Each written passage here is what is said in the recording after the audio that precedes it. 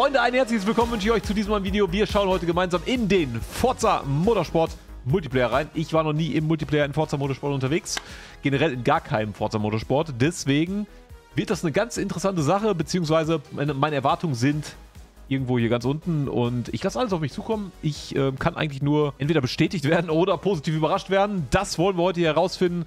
Ich glaube, äh, es kann hier und da schon sehr chaotisch werden.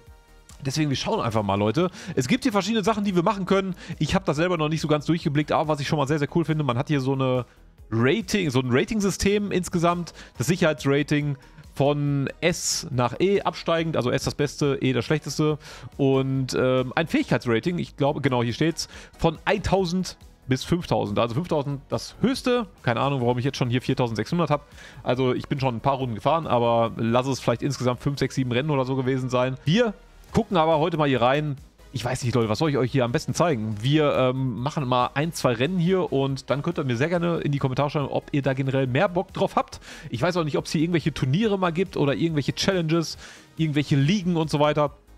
Da wollen wir natürlich dann äh, schauen, ja, oder herausfinden, was wir so langfristig machen können. Ich würde mal sagen, wir fangen einfach mit einem äh, ganz entspannten Rennen hier an. WeatherTech Raceway, sieben Minuten noch. Ich glaube, das ist hier diese ähm, Klasse, die ich auch schon gefahren bin, im Honda Civic, genau. Honda Civic und äh, da gehen wir einfach mal direkt rein, Leute. Lasst ein Däumchen da und ich würde sagen, ab die Fahrt. So, meine Lieben, wir sind auf der Strecke. Wir haben noch 8 Minuten Trainingszeit. Seht ihr leider nicht, ist jetzt hinter meiner Facecam. Und das bedeutet, wir müssen in diesen 8 Minuten auch noch Qualifying fahren. Bedeutet, ähm, wir können quasi selber bestimmen, wann wir in unsere, ich glaube, drei Runden sind es insgesamt, drei fliegende Runden, die wir da haben im Qualifying hier auf Laguna Seca.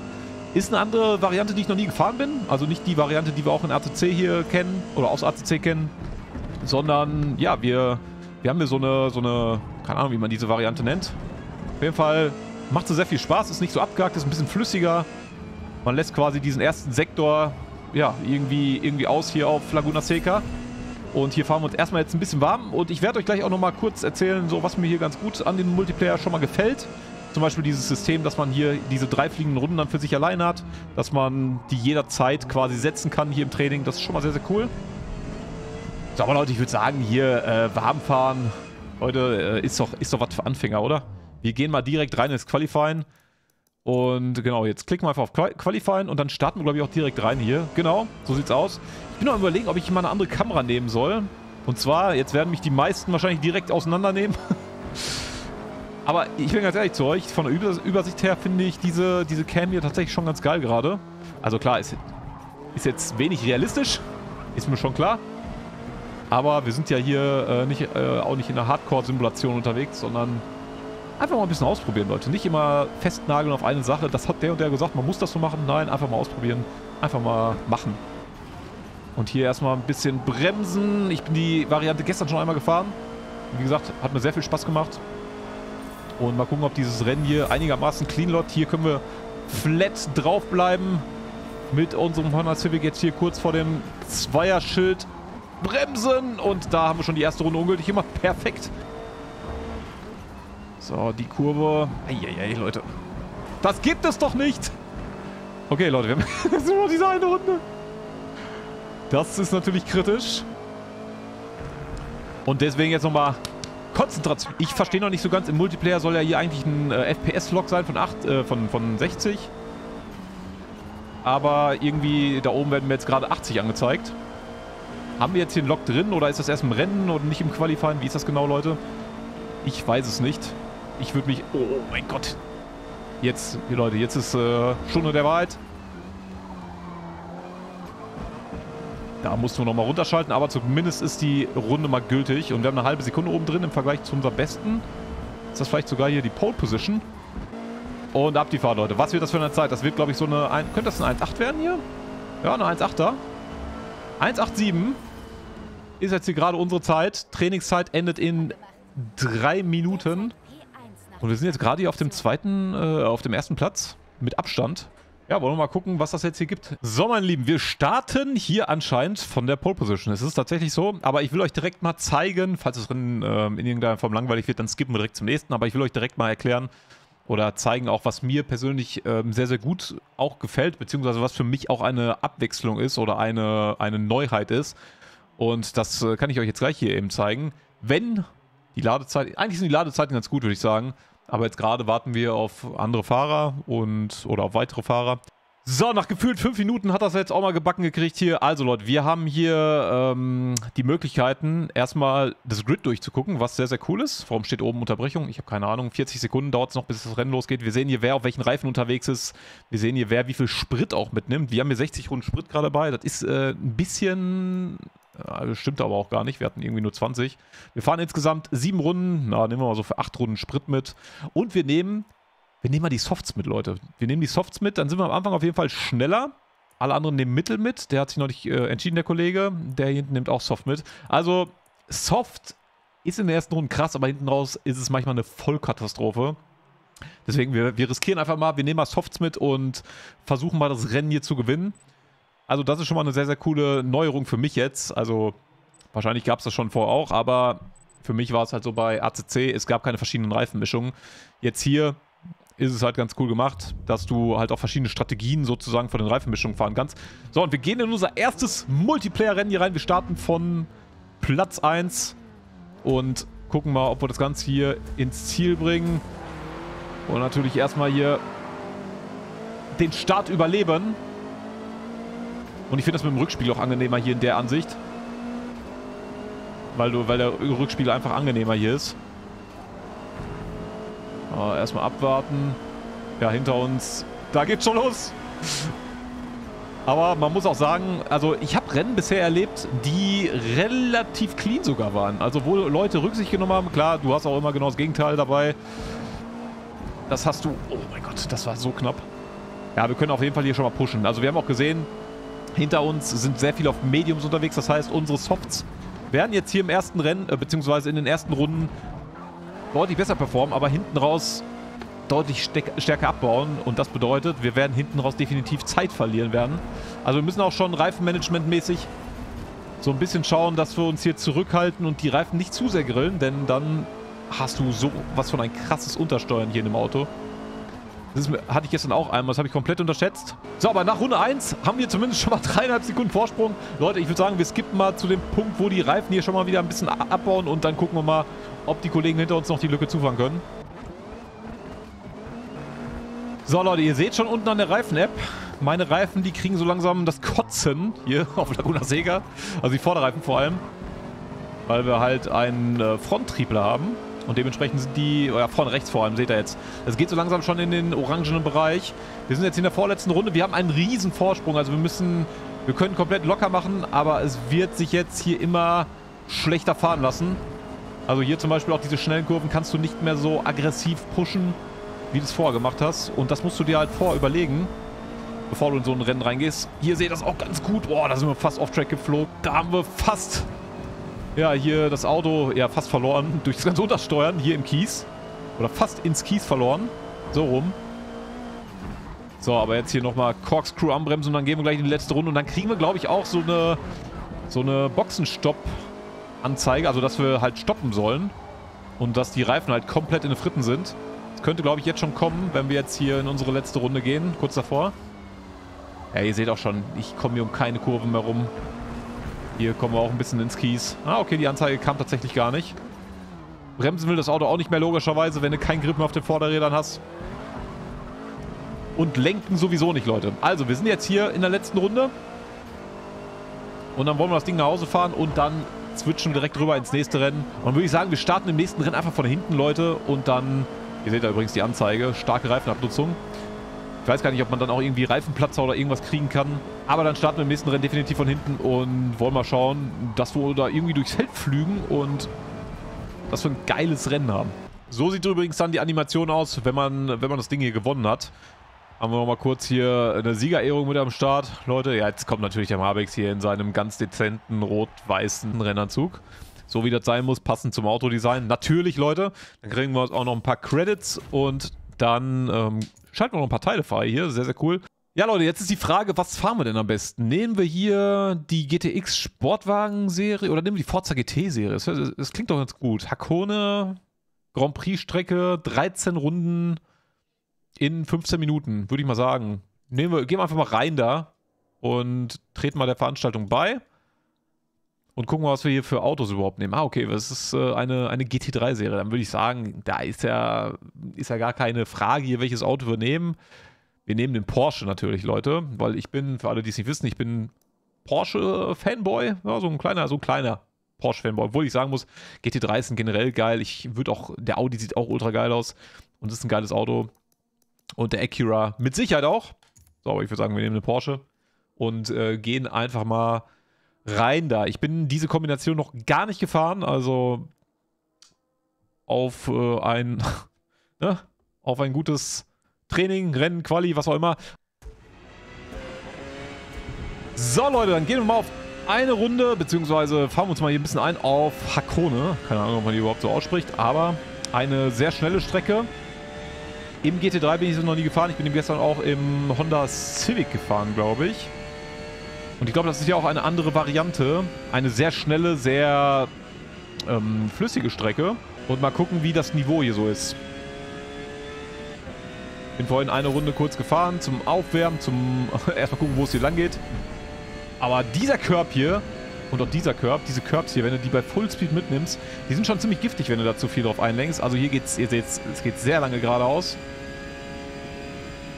Also zum Überholen, die Windschattenschlachten sind gleich hier auf jeden Fall eröffnet, Leute. Dann hier wieder kurz durchbeschleunigen und dann geht es hier in den letzten Sektor. Und der Kollege weiß noch nicht so ganz, wo es lang geht hier. Hier müssen wir nämlich links rum. Dann kommt jetzt hier nochmal so eine, so eine Rechtskurve. Die haben wir jetzt komplett verkackt. Und dann müssen wir hier nochmal links rum und dann sind wir schon wieder auf Startziel. Man kann ja hier, glaube ich, auch das Setup einstellen und so weiter. Ich bin mir da allerdings überhaupt gar nicht sicher, was da funktioniert, was da nicht funktioniert, was gut ist, was schlecht ist. Das muss ich alles noch herausfinden, wie man hier auch Setup-mäßig sich am besten aufstellt, ob High Downforce, Low Downforce, logischerweise. Auf so einer Strecke fährst du wahrscheinlich eher Low Downforce. So, wir können natürlich, wir können sogar die Übersetzung hier ändern. Ach du Scheiße. Ja, das sind alles so Sachen, da habe ich jetzt natürlich mich sehr wenig mit beschäftigt und ich weiß jetzt auch nicht, was ich hier gerade am besten machen soll. Aber ich würde sagen, wir gehen auf jeden Fall mal auf den Punkt Aerodynamik. Genau da müssen wir hin. Wir haben nämlich hier relativ viel Aerodynamik gerade drauf. Und ich würde sagen, wir machen einfach mal ein bisschen weniger. Also ich sag's euch, wie es ist, die werden mich wahrscheinlich hier in Grund und Boden fahren, weil die waren so schnell da vorne, aber ich weiß auch nicht, ob es irgendwie mit am Auto liegt, weil es fährt halt kaum ein Porsche mit. 3, 2, 1, meins. Leute, let's go! Wir gehen rein. Oh mein Gott. Ach du Scheiße. Warum ist der Kollege stehen geblieben? Junge, das wäre es das wär's ja fast komplett gewesen. Okay, da wird uns schon mal ordentlich in die Kiste reingefahren. Understeer. Ach du Scheiße, Leute. Ich, was was habe ich denn für ein Understeer? Habe ich hier... Ich habe, glaube ich, das komplett falsche Setup geladen, oder was hier? Ich kann mir überhaupt gar nicht um die Kurve rum. Ach du Scheiße. Oh mein Gott, Leute. Wir werden gerammt.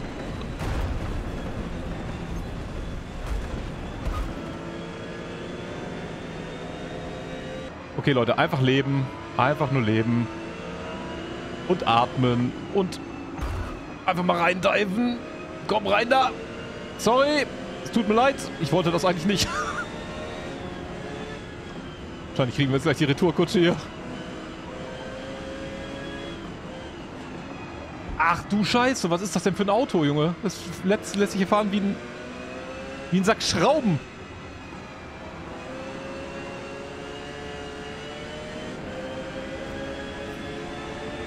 Hier vorne jetzt Forwide, genau, durch die Lücke. Ja, ja. Da machen wir natürlich ein Forwide raus. Ach du Scheiße, Leute. Ich habe Angst. Ich habe sowas von Angst. Macht, was er wollt. Lasst mich in Ruhe. ich will da nichts mit zu tun haben. Ich habe keine Ahnung, warum ich hier nicht rumkomme. Der, ja. Der Porsche neben mir hat genau die gleichen Probleme. Oh mein Gott. Wir sind hier immer noch Side by Side. Liegt das am vollen Tank oder liegt das hier an den Reifen oder liegt das am Setup? Ich weiß es nicht. Es lässt sich aber grauenhaft fahren. Wir sind 15. Also Leute, wenn ihr Tipps für mich habt, wie man das Auto hier am besten einstellen sollte, ich bin für jeden Tipp empfänglich. Ach du Scheiße. Es lässt sich wirklich grauenhaft gerade fahren. Also ich fahre in die Kurve rein und ich habe gefühlt keine Vorderachse. Ich habe gefühlt keine Vorderachse. Seht ihr, wie schnell die alle sind im Vergleich zu mir? Und ich habe das Gefühl, ich grill meine Reifen komplett. Also wirklich komplett. Weil ich bin nur am Rutschen. So, aufs Gas, Gas, Gas, Gas, Gas. Oh, mein Gott. Ja, da konnte ich aber auch nichts für die, für die Kollision hier. Jetzt kriege ich wahrscheinlich noch eine Strafe oder was? Nee, keine Strafe, okay. Ja, Strafensystem ist manchmal auch ziemlich, ziemlich fragwürdig. Aber die haben alle hier so ein Untersteuern, ne? Kann das vielleicht mit den Reifen zusammenliegen oder so? Warte, wir müssen, äh, sagen wir mal, Top 10. Top 10 müssen... Ach du Scheiße. Ach du Scheiße. Was ist das denn? Habt ihr das gesehen? Was passiert mit dem Auto? Ich glaube auch nicht, dass das alles hier förderlich ist für die Haltbarkeit der Reifen. Das war nicht abseits der Strecke. Niemals. Ja, und dafür kriege ich sieben Zehntel Strafe. Das ist frech. Das ist sehr frech, Leute, weil ich war doch noch mit einem Reifen auf dem Körb. Könnt ihr mir noch nicht erzählen. Hier zum Beispiel. Ich bin nur am Rutschen. Also du fährst in die Kurve rein und du bist über alle vier Reifen gefühlt am Rutschen. Also das muss... Vermutlich muss es irgendwie eine Setup-Geschichte sein oder sowas, aber das kann ja nicht normal sein, oder? Vor allem die Dinger, die haben ja, die haben ja ähm, Downforce. Ne? Also ist ja, ist ja jetzt nicht so, dass ich hier einen Golf fahre.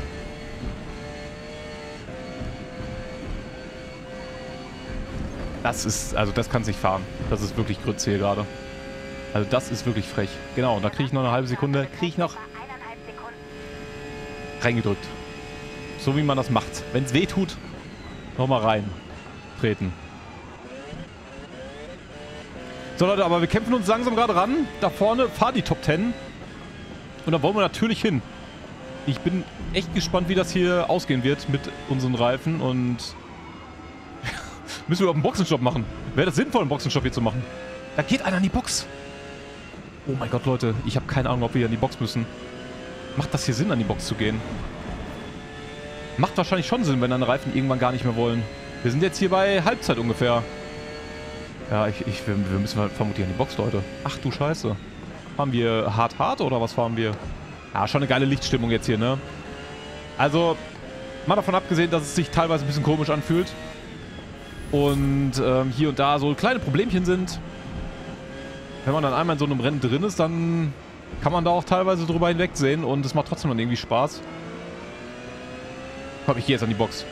Wie funktioniert das? Können wir da einfach draufbleiben? Ja, können wir. Okay, jetzt müssen wir, glaube ich, irgendwie äh, irgendwas einstellen. Genau, äh, Mittelreifen. Wir machen, wir machen nochmal die Harz drauf und empfohlen, was? Neun Runden, was? Ähm, überspringen. Das war, glaube ich, war das äh, Sprit oder was? Ich glaube, das war für Sprit, ne? 2,6 Sekunden. Ich habe keine Ahnung, Leute, ich konnte so schnell nicht lesen. ich dachte einfach, das wäre jetzt Sprit gewesen, aber wir haben genug Sprit dabei gehabt. Und deswegen äh, müssen wir jetzt hier keinen Sprit nachtanken. Also ich bin euch wirklich für jeden Tipp dankbar, den ihr mir geben könnt bezüglich Setup, bezüglich, ja, warum sind die hier vorne so schnell? Ist es das Auto? Ist es das Setup? Bin ich es? Aber dadurch hat man natürlich auch taktische Möglichkeiten jetzt hier während des Rennens. Ne? Man kann bestimmen, wie viel Sprit nimmt man mit und wie viel tankt man nach und wie viel oder welche Reifen nimmt man jetzt. Und dementsprechend kann man ja taktisch auf jeden Fall verschiedene Dinge tun. Und das finde ich, das ich schon sehr, sehr cool. Ist für mich auch eine Neuerung, die ich so nicht kenne. Aus Assetto Corsa Kompetitionen.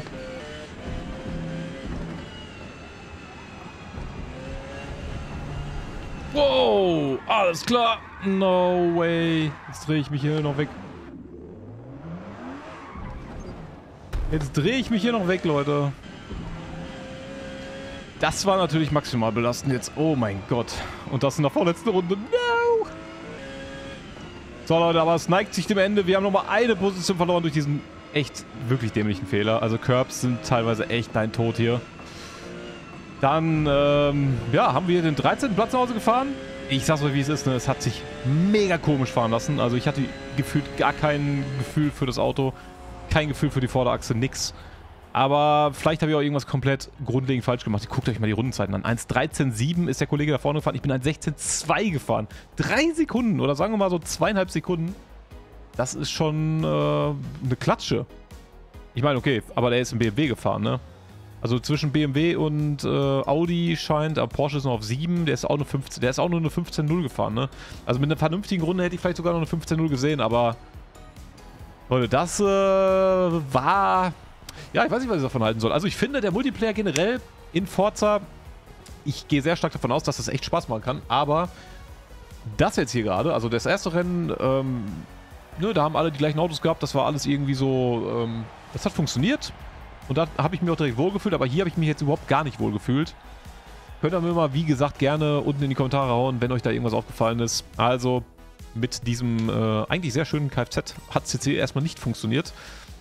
Aber ich fuchs mich da noch ein bisschen rein. Also, wenn ihr Bock habt auf weitere Folgen, Forza Motor Motorsport äh, Multiplayer vor allem, also ich werde größtenteils hier wahrscheinlich Multiplayer fahren, dann haut gerne ja, ein Däumchen raus, lasst ein Abo da und ich sag bis zum nächsten Mal. Euer Mavix, haut rein und tschüss!